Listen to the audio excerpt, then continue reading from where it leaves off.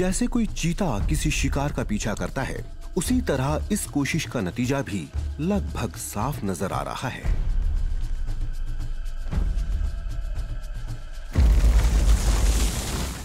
दिन के ठंडे समय के दौरान कछुए अपने शरीर का तापमान बढ़ाने के लिए धूप सेंकते हैं। इससे उनका मेटाबॉलिज्म बेहतर होता है और उनकी भूख जागती है। इनकी खुराक में ज़्यादातर मछलियाँ कीड़े मकोड़े, पौधे और ज़मीन पर गिरे हुए फल होते हैं। लेकिन इनकी एक खास प्रजाति तो अब सिर्फ़ ज़मीन पर ही शिकार करती है।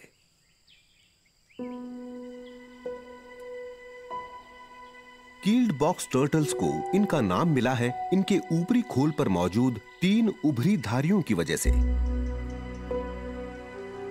पूर्ण विकसित होने पर इनकी लंबाई करीब 18 सेंटीमीटर हो सकती है।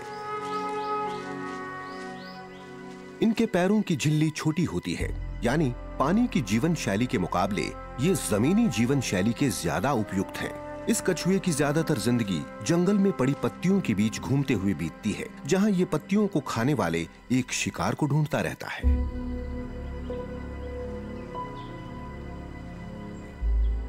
अगर कोई भी केंचुआ अपना सिर मिट्टी से बाहर निकालता है तो समझिए, वो मुसीबत मोल लेता है, खासकर बॉक्स टर्टल के इलाके में। भले ही इस रेंगने वाले जीव की सुनने की शक्ति कमज़ोर हो, लेकिन सभी रंग देख पाने वाली इसकी नज़र और सूंघने की योग्यता कमाल की होती है।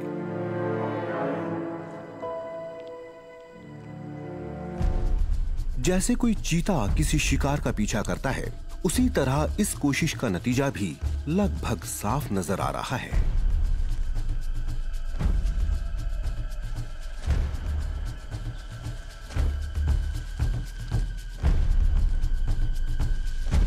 बेशक ये मुकाबला सबसे धीमी रफ्तार वाले शिकारी और शिकार का है, लेकिन कछुए को इसमें काफ़ी फ़ायदा मिलने वाला है।